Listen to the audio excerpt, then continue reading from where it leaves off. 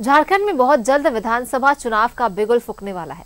इसे लेकर जयराम महतो की पार्टी जेएल जेएलकेएम ने अपनी प्रत्याशियों की दूसरी सूची जारी कर दी है जिसमें बोकारो विधानसभा से सरोज कुमारी को उम्मीदवार बनाया गया है जिसे लेकर जेएलकेएम कार्यकर्ताओं में काफ़ी उत्साह है। वहीं मौके पर सरोज कुमारी ने कहा कि अगर बोकारो की जनता मौका देती है तो बोकारो की जनता के हित में का, काम करेंगे।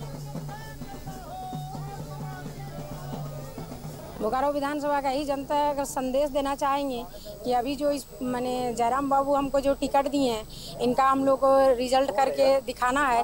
बोकारो जनतावासी को, बोकारो विधानसभा के जनतावासी को ही हम संदेश दे रहे हैं कि सब थोड़ा समर्थन करें और हम लोग ये सीट निकाल के जयराम बाबू का झोली में दें और जयराम बाबू को हम लोग सी एम महिलाओं के लिए सारा जितना जो है, योजना का जितना भी काम है, जितना भी आएगा, सारा हम लोग महिला के पहला प्राथमिक देंगे, उसके बाद हम लोग जेंट्स को देंगे। हमारे झारखंड प्रदेश में ये दूसरी सूची आज हमारे केंद्रीय नेतृत्व और केंद्रीय कमिटी, केंद्रीय अध्यक्ष टाइगर जयराम महतो जी, सरोज कुमारी जी बोकारो विधानसभा से प्रत्याशी होंगी और जीत दर्ज करेंगी।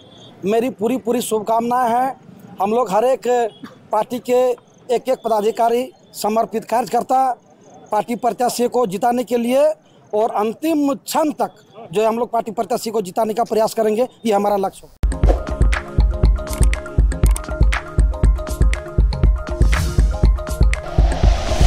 Like and share videos, subscribe करें हमारा चैनल और प्रेस करें बेल आइकॉन न्यूज़ 11 भारत सच है तो दिखेगा।